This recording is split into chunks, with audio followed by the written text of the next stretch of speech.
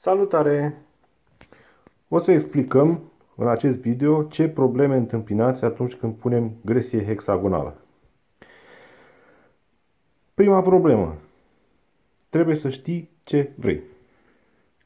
Înainte de a merge la magazin, trebuie să stabilești, să măsori, să stabilești ce culori vrei și în ce proporții. Eu am vrut să fie undeva la 60% alb, cam 30% gri și doar 10% negru. Pentru că culorile vin pe cutii.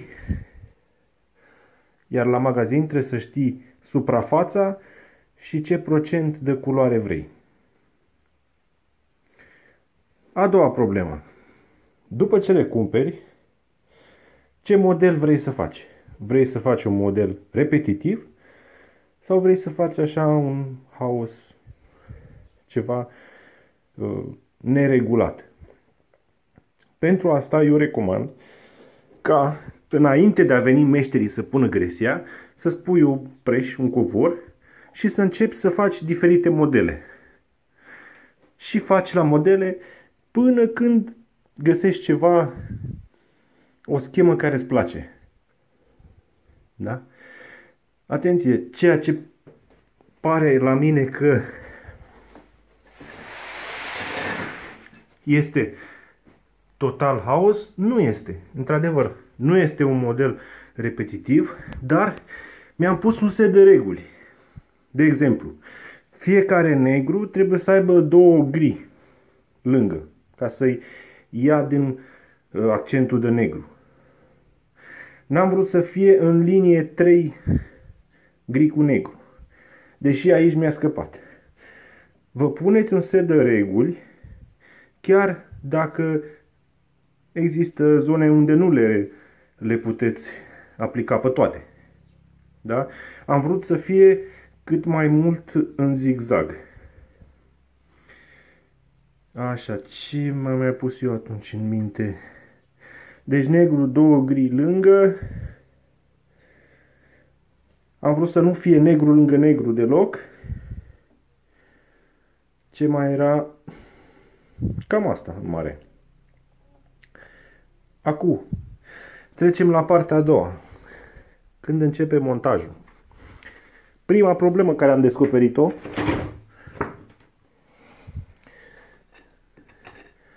când pui o placă nouă,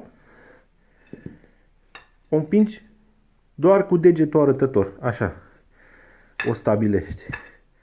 Da? Ai făcut, ai împins cu dosul sau ai împins cu forță, ai făcut asta. Tana! Și apoi trebuie să o iei de la capăt și o întreagă nebunie. Deci nu forțați când puneți gresia. Da? Ai pus o placă nouă, o așez cu degetul arătător. Atât. Da? Ai împins cu dosul palmei, ai făcut asta. Deci, a doua problemă care a fost tăiatul la 10 mici bucățele, da? De exemplu, aici, să zicem că avem nevoie de bucata asta, putem să măsurăm invers în oglindă, da? Putem să punem invers placa și măsurăm până unde avem nevoie. Tăiem aici și apoi o întoarcem. Da? Și vine fix și vine fix placa de care aveam noi nevoie. nevoie. Deci, marea sperietoare, îmbinarea parchetului cu gresia. Ue.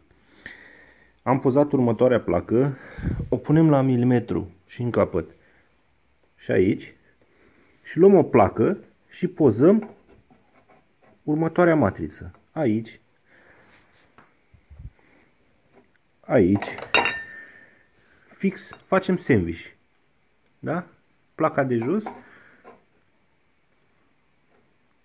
placa de gresie după deasupra și parchetul la mijloc.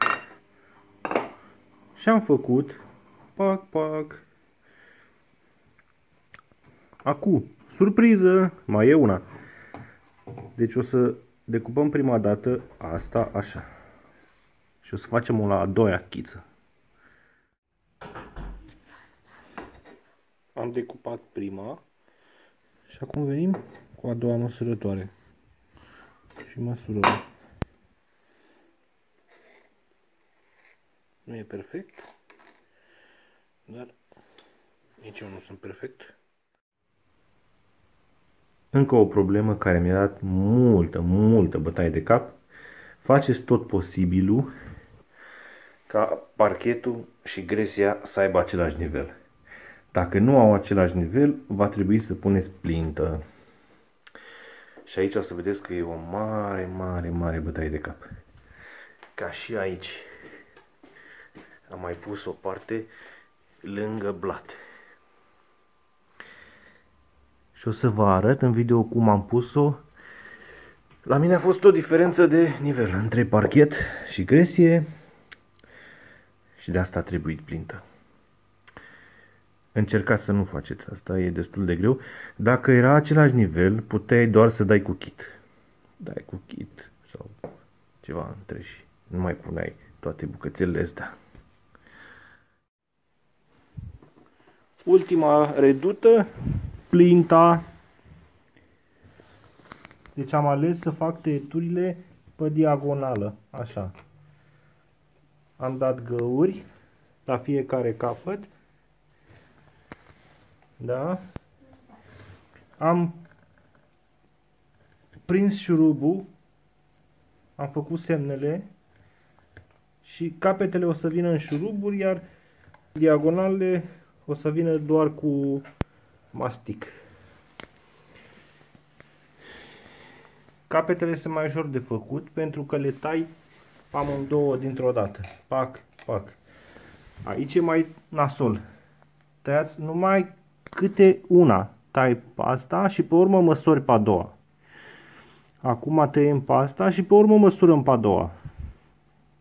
Înțeles? Da. E foarte greu și multă muncă, muncă de chinez bătrân. În final a ieșit ceva foarte frumos, deosebit. Nu ne place foarte mult, chiar dacă a fost o mare bătaie de cap. Ne place foarte, foarte mult recomand cu un pic de răbdare și cu niște meșteri buni. Nu e perfect, da? Dar ce ai făcut de mine, la mine acasă, e perfect.